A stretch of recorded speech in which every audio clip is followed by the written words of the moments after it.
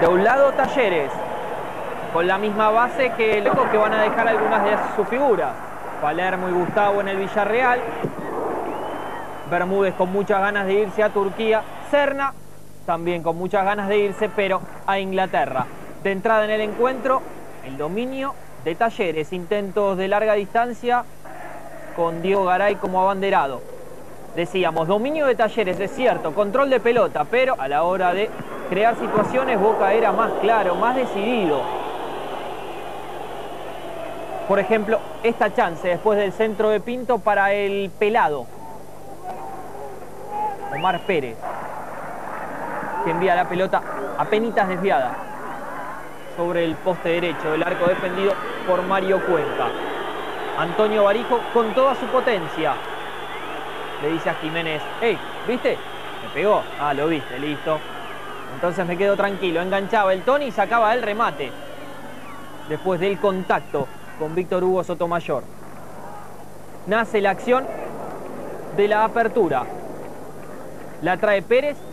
La acción continúa en Guillermo Barros Esqueloto que cruza la bocha para la llegada libre del pibe. Matías Arce que saca el remate. La pelota se desvía Darío Alanís y termina descolocando a Mario Cuenca. Se terminaba el primer tiempo y Boca conseguía un golpe de efecto. Se iba al descanso en ventaja cuando todo parecía indicar que la igualdad era lo que mejor se amoldaba, lo que ambos conjuntos habían mostrado en el campo de juego del Cható. Un Cható que soportó una pertina llovizna a lo largo del partido, lo que deparó acciones de juego veloces. Por momento la bocha se tornaba incontrolable para los protagonistas. Tremendo remate de el Diego Cordobés, de Diego Garay, que obliga a la primera gran reacción en la noche del pibe Muñoz. Lillo, que había ingresado en el complemento, tira la pared, la va a buscar y apenas 45 segundos después de la primera tajada, Muñoz Arranca el segundo U de la noche. La gente de la T se quedaba con las ganas de gritar el empate. El pibe que estuvo a préstamo en los Andes y que recibía esta chance de parte de Carlos Bianchi de mostrarse la primera de Boca, respondía ahí con creces. Pelotazo de Marchán, el que encara es Pérez. Pasa, pasa, pasa, no, no pasa, lo baja Cuenca. Para el árbitro, para el sargento Jiménez hay clara infracción. Llevan jugados nueve minutos del complemento. Pérez se acerca al uno cordobés que le muestra su cara a Jiménez intentando argumentar su protesta. Parece ser Pérez el que busca el contacto con el arquero y no este con el volante creativo de Boca. Poco le importó esto a Guillermo Barros Esqueloto, infalible desde el punto del penal, engaña a Cuenca y convierte el 2 a 0 que llevaba tranquilidad y virtual seguridad a un Boca que, como decíamos, le regalaba la pelota Talleres, pero que era contundente a la hora de crear peligro en el área rival. Igualmente, las complicaciones para Boca estaban por llegar.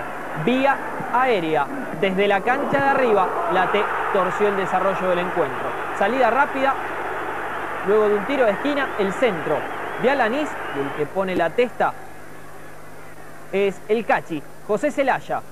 Excelente peinada del alguna vez centro delantero de San Martín de Tucumán para establecer así el 1-2. Habían pasado seis minutos del segundo grito de Boca y Talleres volvió a meterse en el encuentro. Vamos Tigre, le grita Matellán y Muñoz. El Tigre responde después del tiro libre de Astudillo. Claro, la pelota se fue al córner. Salió rápido otra vez Talleres, el centro pasado, un nuevo quedo defensivo de los pibes de Bianchi y el que ingresa ahora por el segundo palo es Cristian Pino. Fue lo último que hizo Pino en el partido. Un minuto después, JJ le dijo, bien por vos, cumpliste, vení, sentate al lado mío. Y lo sacó en su reemplazo ingresó Buján. Lo cierto es que es buena la palomita de Pino, pero es pésima la cobertura defensiva de los hombres de Boca. Chance para el Tony Barijo que agacha la cabeza, cierra los ojos y fusila a Cuenca. Se apura en la salida Muñoz e involuntariamente deja Boca con 10. ¿Por qué? Porque en la continuidad de la jugada Matías Arce mete la manito obliga a Daniel Jiménez a mostrarle una amarilla, como ya tenía otra, amarilla más amarilla, igual a roja. los últimos 15 minutos de Boca serían con un hombre menos. Igualmente no tuvo demasiadas situaciones para lamentar, excepto esta. En el rechazo, Muñoz sufre un fuerte dolor, una puntada en su rodilla derecha. La acción obligó al reemplazo del arquerito de Boca. Preocupación en el rostro de Bianchi. Igualmente pareció no ser tan grave, teniendo en cuenta que cuando ingresó a Bondancieri, Muñoz se quedó sentado en el banco de los suplentes junto a sus compañeros. El cierre del encuentro entonces con el merecido empate, la justa igualdad, Talleres con mayor control de pelota, Boca con mayor peligrosidad, llegaron a esta definición. Boca había eliminado a River en los 90 reglamentarios. Talleres había hecho lo propio con Belgrano desde el punto del penal. Merced a las proezas de las manos de este señor, de Mario Cuenca, que en el primero de los envíos detenía el remate de Omar Pérez. Celaya ponía el 1 a 0. El Tony Barijo arrancaba la segunda ovación del pueblo de la T, pero Jiménez dijo, no, no, no, no, no, en esta te adelantaste. Qué fino, es el hilo que separa las decisiones del árbitro. En la primera también se había adelantado Cuenca, dejó seguir. Esta no le gustó, lo hizo tirar de nuevo. El Tony agachó la cabeza y lo fusiló. Cuenca casi lo saca, igualmente estaban uno a uno. Remate de Franco. Abundancieri igual entró.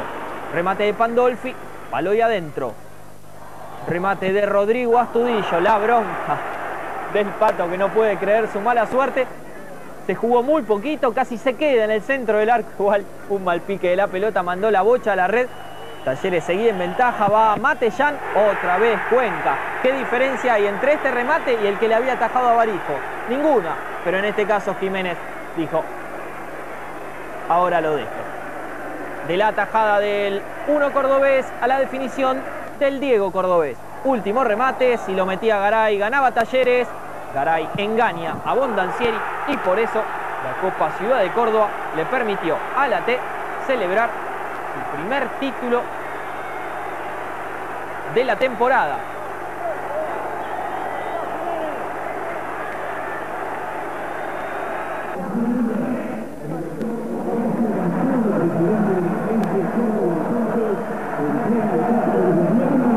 La copa en alto, Víctor Hugo.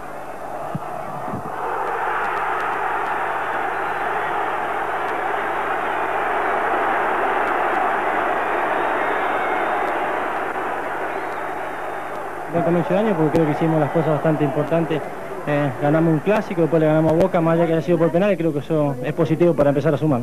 ¿Qué fue lo que más te gustó del equipo en este campeonato? El hecho de haber remontado un 2 a 0 con Boca, que no, no siempre es fácil, así que creo que fue importante a la hora de, revertir ese resultado y bueno, después más allá de los penales creo que cuestión de suerte. Mario, hoy parecías el Goico. No, no, no, son, son situaciones que por ahí te llevan a tener un poco de suerte y un poco de, de, intuición y bueno, creo que lo más importante es que pudieron convertir los, compañeros míos para poder ganar. Y si uno se piensa, o se acuerda más que nada la, la situación de gol, creo que, que merecimos también eh, el triunfo, pero el empate estuvo muy bien porque nosotros también nos salvamos un par de veces. Darío, ¿dónde estuvo la clave de la reacción de Talleres en este segundo tiempo? Creo que en jugar 5 o 10 metros más arriba, eh, Boca nosotros no, nos esperaba y después solo cometíamos un error de retroceder y ellos no manejaban el fútbol, así que una vez que lo pudimos apretar, lo obligamos a que tiraran pelotazos y de ahí en más eh, tratar de manejar nosotros el fútbol. Fue realmente importante para comenzar el año, más allá que sabemos que son torneos veranos, pero tenemos que trabajar en, función de, de, arrancar bien siempre, esto nos fortalece anímicamente para la pretemporada y encarar 19 fechas que van a ser duras y que se va a definir eh, todo el proyecto que que comenzamos en, julio del año pasado. ¿Por qué tanta diferencia entre el primero y el segundo tiempo? Eh, y porque es el fútbol así, por eso es lindo. Eh, tiene estos cambios y, tiene ese sabor, por eso este deporte es el que, el que más gente eh, concurre y por eso el fanatismo. Este, creo que Boca hizo el gol sobre la hora, fue un gol psicológico, pero el, equipo del segundo tiempo tuvo fuerza anímica para revertir el resultado y después ganar por los penales que es, es circunstanciales.